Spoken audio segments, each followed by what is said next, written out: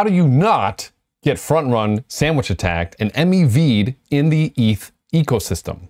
Let's find out. So for those of you who don't know, MEV is this thing where just by nature of you sending a transaction, there's a chance that you're actually losing more hey. money than what shows up in MetaMask. I'll leave some docs in the description for you to learn more. And the question then becomes, okay, well, how do we protect ourselves against this thing? Well, Flashbots has this product called Flashbots Protect, which if you go to the documentation for it, we can see here it says, Flashbots Protect makes it easy for everyday users and developers to use Flashbots for front-running protection. That sounds like that's what I'm looking for. But then you keep reading and it says, we abstract away the complexities of submitting bundles to the Flashbots auction and make integrating as simple as adding a URL to MetaMask. That sounds less like it's protecting me.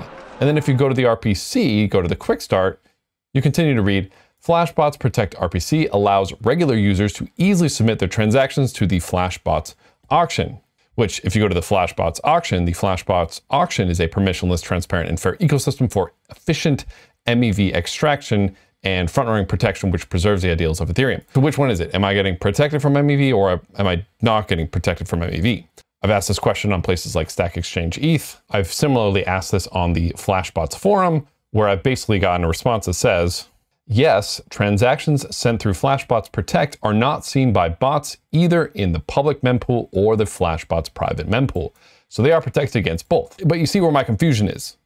Yes, you're protected. No, we're going to submit your transaction to the Flashbots auction. Uh, which one is it? And then finally, we have this line, get MEV back. If your transaction creates MEV, you get 90% of it back through MEV share. So it sounds like I am going to get MEV'd, but to get most of the MEV back. So as scientists, we are going to test this theory by recreating the Scott B how to get front run on Ethereum mainnet experiment. He did this experiment a few years ago. He shows how easily it is for bots to front run you and we're to do the same thing. So we're here in Remix. We have this contract called withdraw me. We're to have an error here called bad withdraw if something breaks. We're to have a secret hash that's going to include some password, success and fail. We're going to have a constructor where we send money to it with this secret hash, right? So we're going to have a password. We're going to encode it so it's a secret hash. We're going to store that on chain. And only if you have the password will you be able to decrypt this hash. And that's what our withdraw function is going to do. It's going to take this password in. If the password cracks the hash, great, we will get all the money back. Otherwise, we will revert and we will emit a success. Otherwise, we will emit a fail.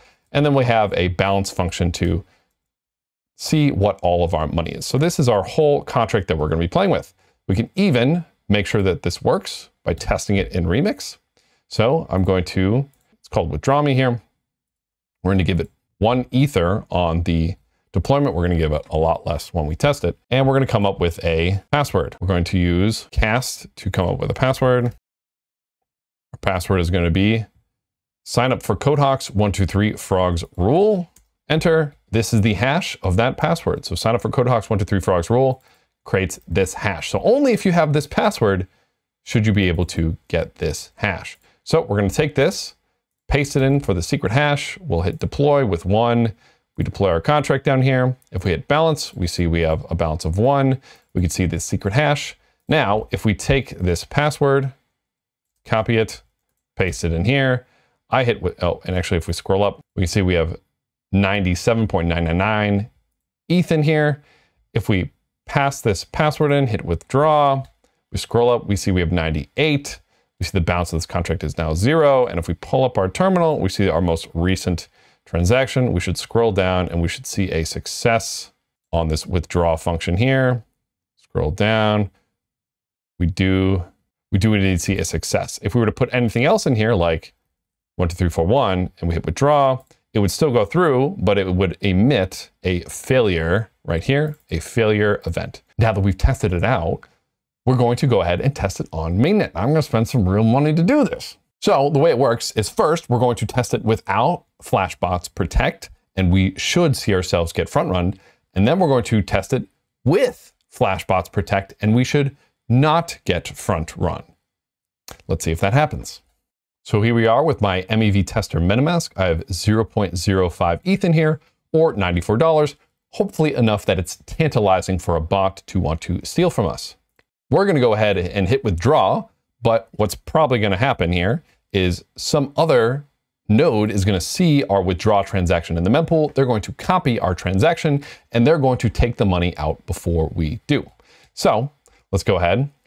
Same deal. And we're using a regular old Infura endpoint for this. So we're going to go ahead and we're going to delete this. We're to go to injected provider MetaMask. We're to have to go to wei. So we're going to do how much money should we put in here? So we want to do 0.025 ether. So that's this much wei. We're going to copy that, paste it in here for wei. Oh, excellent. We're going to deploy with this hash, which has, which has our password here. Let's go ahead and deploy this transaction to mainnet. MetaMask pops up. It's going to cost us another $16 in gas. Uh, it's going to confirm. A few inches later. And great, we have our withdraw me contract. If we hit balance, we can see the balance in here. We can see the secret hash. We copy it. We go to Etherscan. We can indeed see the contract here. We can indeed see the value in here. And we can refresh and nobody's going to steal the money because A, they'd have to find this contract. B, they'd have to verify this contract. And C, they'd have to know our password. So right now it's very difficult for a bot to come and see it. But the instant the instant we send our transaction, a bot is going to swoop in and steal the money from us. I'm to copy this address. I'm to paste it in. I'll hit confirm. And just by me sending this transaction, I know it says completed now, but while it was pending, other bots got to sniff out and smell that transaction. So they probably front ran me. And if you can see here, you see that we didn't get that $2 back. We go to our transactions here. It says, oh, hey, there was a withdraw that went through and this is our transaction, but if we look in our wallet, we didn't get that money back. There's definitely less than 0.025 ETH in here, so we didn't get it. You got scammed. The balance is clearly zero. If we click on the transaction to withdraw, we can see zero money went through, but we can go to internal transactions and we can see some other jerk snagged it from us and took our money. And they paid 532 Gwei for it, which if we do ETH converter, they paid about $45 in here to get $50 worth of ETH. You can see in this internal transaction, transfer 0.025 ETH from somebody to somebody, and then from that somebody to somebody else. And we can even see who sent it. We can see is this person here, so this person is obviously an MEV bot. It looks like they've got about $16,000 from their MEVing, right? And it looks like they actually score a find every, you know, every once in a while, right? So it's just running, creating them passive money. So we've seen us successfully get front run by an MEV bot and lose our $50. What an expensive experiment. Maybe I'll do try to do a little bit cheaper this time. So we're gonna run this again but this time we're going to use Flashbot's Protect RPC, and we'll see if we get front run. So we're in the exact same contract that we have, but I topped up our funds here back up to $100, 0.5 ETH here. And we're going to do the same thing, except now we're going to switch from Ethereum mainnet endpoint to our Flashbots Protect endpoint. They've got plenty of docs to teach you how to do this really easily. We're going to do a different password this time. This time it's going to be sign up for CodeHawk's caw, caw, caw. One, two, three, four, five, you know, one, two, three, four, five, six, cat. Boom. Here's our hash. We're going to copy this, come back over, get rid of this old contract that just rugged us. We're going to deploy this again. We're using the Flashbots Protect RPC, which shouldn't matter because we're just deploying. We're to send 0.025 to four this time, a little bit less for these scammers. Paste that in here. We'll hit deploy. This thing comes up, confirm. MetaMask comes up now. And again, this is just us deploying this. Go ahead and confirm. And once this goes through, we'll have another contract. What's kind of interesting, if you look at this on Etherscan, you get, get this little pop-up. This transaction is made through the Flashbots Protect RPC and is not shared to the public Ethereum transaction pool. So that's kind of cool. It's going to take us a little bit longer to deploy this through Flashbots Protect because they have fewer nodes. Basically, they have to wait for one of their nodes to be able to submit a block. If we go back to our Etherscan, you can see we've created this contract It's got zero point, it's got about $42 worth of ETH in it. And Flashbots Protect should protect us. We should not get front run. When I send a transaction, that transaction should be the one to get the money out, right? Well, let's find out. So we know the password, sign up for CodeHawks, caw, caw, caw, this whole thing, cat, paste it in, withdraw. Let's confirm. Now we can view this on Etherscan and we should again see this transaction. This transaction is made through the Flashbots Protect RPC and not shared to the public Ethereum transaction pool and we'll kick back and wait another 10 minutes. A few inches later. Actually, this one did not take 10 minutes. This one went through pretty quickly. It's already done. This one took about 60 seconds. The withdraw definitely went through. Do I have the money?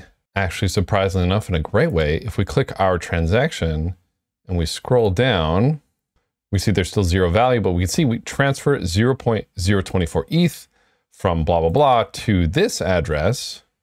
And this is us. So it looks like Flashbots Protect did protect us from MEV. So it looks like we do get front running protection. We didn't get a failed transaction, which was great. We did create MEV, but it was protected by the front running. It looks like it didn't do this MEV share thing. So maybe if our transaction created MEV outside of being front run, maybe that's where this MEV share would have kicked in. But so we have successfully verified that Flashbots Protect does indeed protect you from MEV.